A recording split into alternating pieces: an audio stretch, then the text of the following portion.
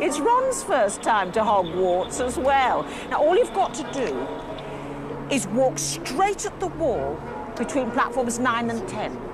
Best do it at a bit of a run if you're nervous. Good luck. I think. Wait, did he just bump into